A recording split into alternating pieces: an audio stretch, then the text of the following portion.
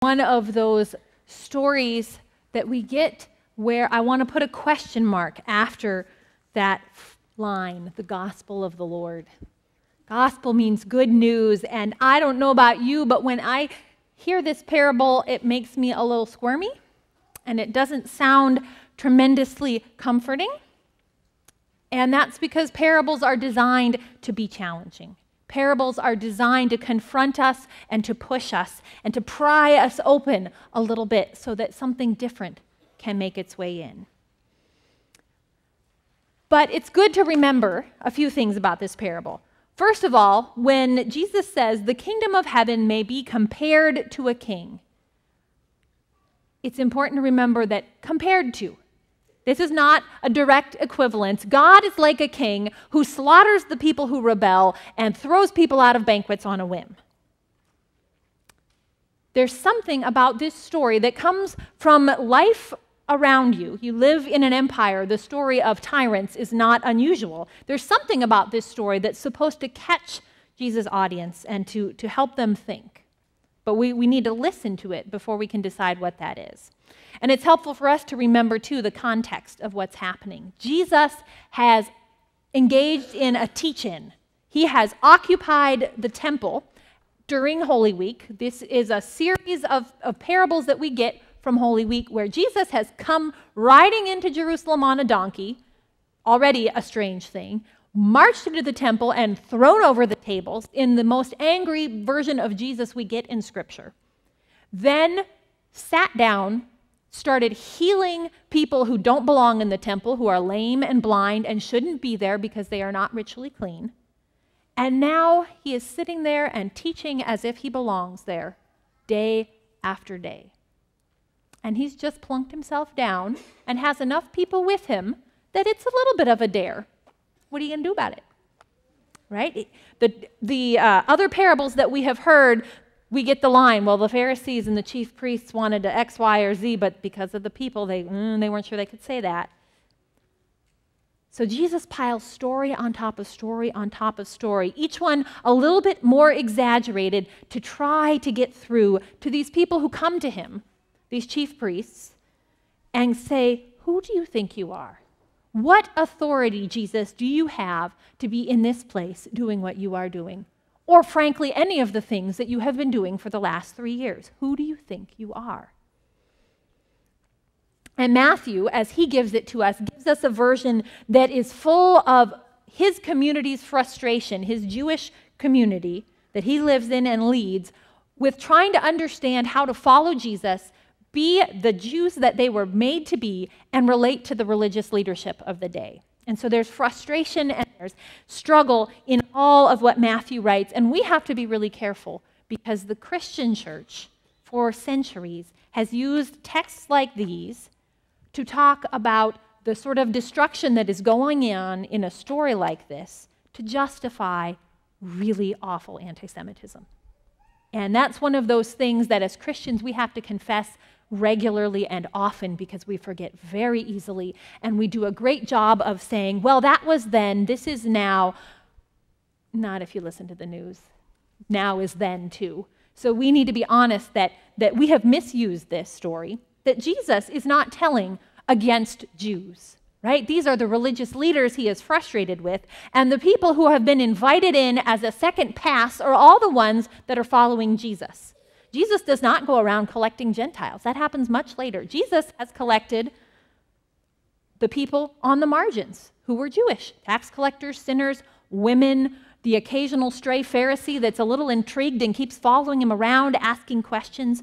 So, this is not a story about God saying to fooey on those people, I'm done with them, and go ahead and do whatever you'd like. That is absolutely not it. So, we just need to know that. And it's good for us, too, to be thoughtful about not equating the God that we know in Jesus with the king in this parable. Not at least item for item, because the king in this parable is rather smitey, right?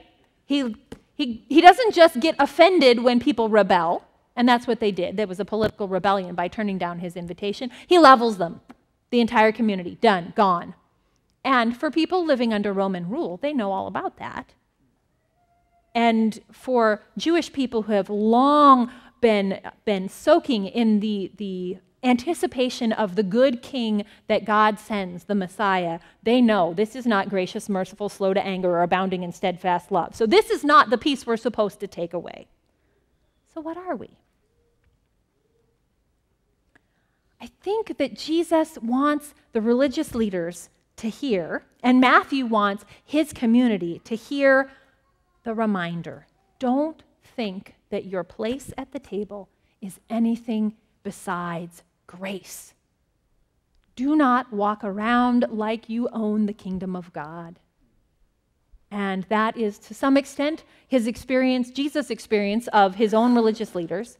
And that's certainly Matthew's experience of all people who want to follow Jesus. Very quickly, we start to act as if we own Jesus and we know everything and we are right. Don't act as if your place at the table is anything other than grace. As we read Psalm 23, I thought about this beautiful attitude of, of gratefulness and dependence on God. And I thought how much we love those words and how we, we work to memorize them sometimes when we're young or when we're older, how we might hang on to them in the middle of the night when there's nothing else and we don't have the words, how we might write them down and hand to our loved ones to say, when I am a part of the fulfillment of the kingdom and you are giving thanks to God for my life, I want you to hear this because this is what I believe. We treasure these words. Also, we make tacky art with them and we treat them, you know, we, we put them everywhere, and sometimes they lose a little of their weight. And I think part of that is because it's really actually very different from how we are trained to think in our culture. The Lord is my shepherd. Well, no, I'm the master of my own, my own destiny. I am a self made man. I shall not want. No. We're supposed to take care of our own first, aren't we? He makes me lie down in green pastures, leads me beside still waters. He restores my soul. No, no, no.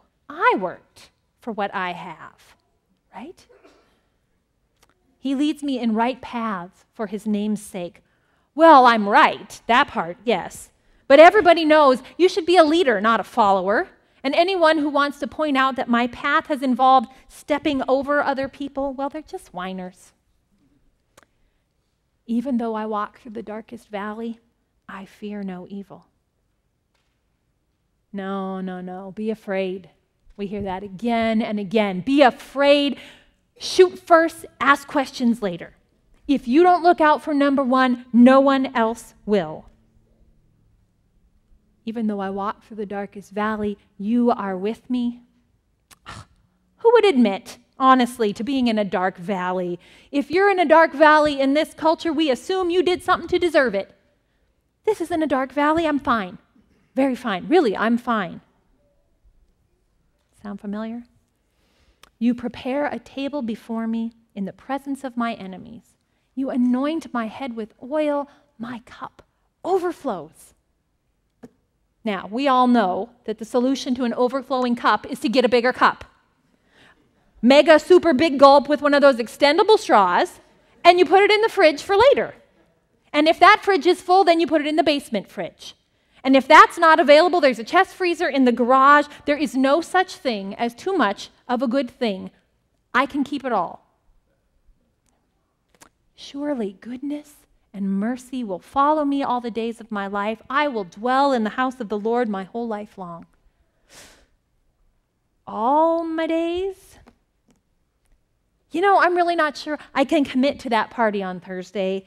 It sounds great. I'm really happy you're having a birthday, but there, there might be something else coming up, and I need to keep my options open. If it rains, you'll see us then.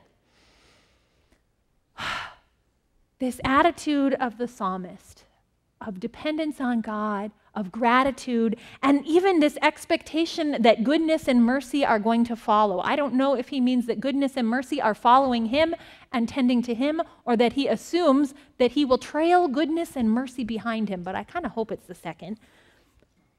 That's not an easy attitude for us, is it?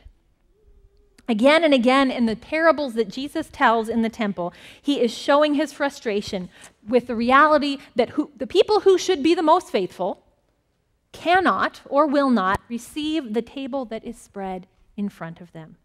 The words, the very presence of goodness and mercy incarnate. And so the story of the king goes along as people expect. In this world, when you rebel, there is bloodshed. Great. Yep. Okay. So far, we're tracking with you, Jesus. We know how that goes. And then we get to the snag. The party happens after all. And the riffraff are rounded up the good and the bad, those people out on the fringes of town, that one guy just passing through. Everybody is coming to this banquet. Jesus' ragtag collection of tax collectors and prostitutes, wealthy women and, and hangers on, Roman God-fearers trying to figure out what is going on, they're all there because they know a banquet when they see one. They know a feast when they see one. They recognize a shepherd and follow because they know what it's like not to have one. They have experienced this amazing surprise that in their darkest valleys, they could literally look over and say to Jesus, You are with me. That is a gift.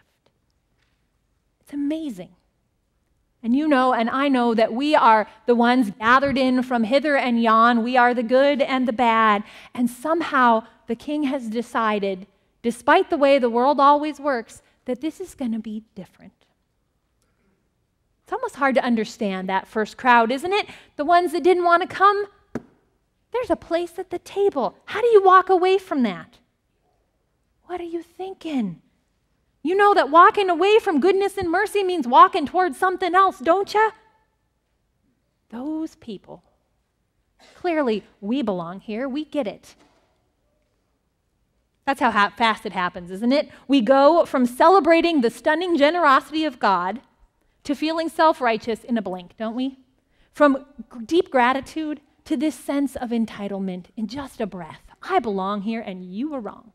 So, so easy. And Matthew knows it because he's living it with his community. And so he gives us this tag at the end of the parable this fellow who has been invited to the feast and is clothed in the mercy of the host, doesn't belong there, pulled in off the streets, clothed in some bizarre generosity unexpected. We wear white at baptism. We put a white pall on a coffin at a funeral because we understand that we're here because we're clothed in God's generosity. But this fella is at the wedding feast and he's wearing a shirt that says, I'm just here for the snacks. I don't need your mercy, and I don't intend to go around wearing mercy for other people either. Matthew knows how quickly we make that shift, how easily his community can go from joy in God's grace to being sure that they earned it, that they're entitled to it, that they can refuse to live lives of grace for other people and still sit down at that table as if they own the place.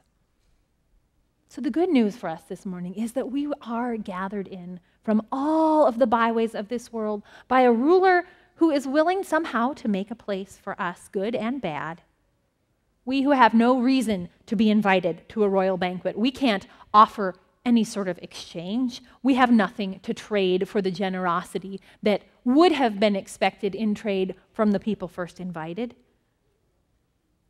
But the challenge this morning is not to sit down like we own the place. To be, but rather to be clothed in the mercy that God has given us and join in the celebration rather than licking our finger and touching this cookie touching that cookie, touching that cookie. All the cookies are my cookies. We slide into that so easily. And so, our invitation this morning is to remember that it is the Lord who is our shepherd, and that the goodness and mercy that follow us ought to be trailing us in our ways of relating to the world as well, that we might actually dwell in the house of the Lord our whole life long and not just come for the cookies. Thanks be to God.